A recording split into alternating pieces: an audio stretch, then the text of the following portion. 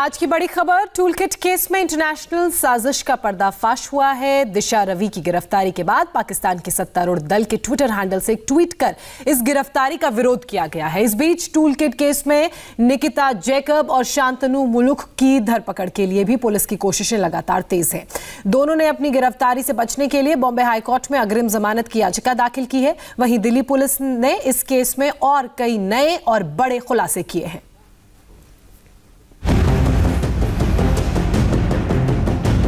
दिशा रवि गिरफ़्तार। निकिता जैकब फरार। शांतनु मुलुक फरार।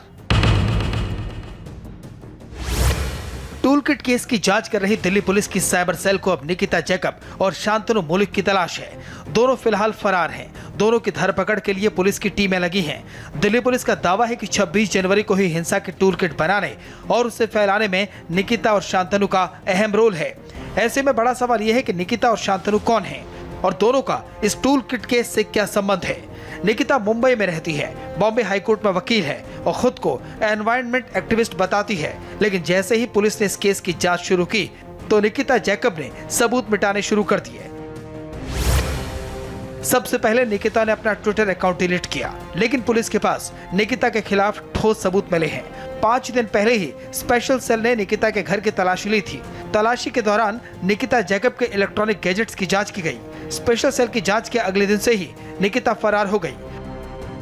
जाँच के दौरान इस टूल किट के ऑनलाइन मौजूद स्क्रीनशॉट्स की पड़ताल की गई और जाँच में पर्याप्त जानकारी मिलते ही इस टूल किट गूगल डॉक्यूमेंट की एडिटर निकिता जेकब के विरुद्ध कोर्ट से सर्च वारंट जारी कराकर केस के आयो समेत एक टीम को मुंबई भेजा गया और तलाशी के दौरान उनसे दो लैपटॉप और एक आईफोन मिले। सर्च में ये भी बातें सामने आई कि निकिता और उसके साथी शांतानु और दिशा ने टूल किट गूगल डॉक्यूमेंट बनाया था।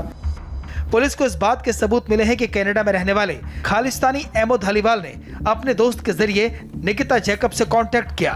इसी के बाद टूल किट का कॉन्सेप्ट क्रिएट किया गया।